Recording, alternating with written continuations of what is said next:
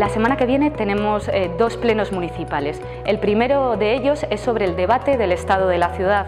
Es un pleno importante porque es la primera vez que se debatirá en Valladolid en conjunto sobre cuál es el estado de nuestra ciudad. Es muy interesante para nosotros también tras un año de gobierno. Al día siguiente tenemos el pleno ordinario del mes de julio y desde Valladolid toma la palabra llevamos tres propuestas. Una de ellas en solitario que es para instar al Gobierno central a que nos ceda en las sedes de Hacienda y de la Seguridad Social que están en desuso para darle un fin social. Por otra parte, llevamos otras dos mociones junto al resto de grupos municipales.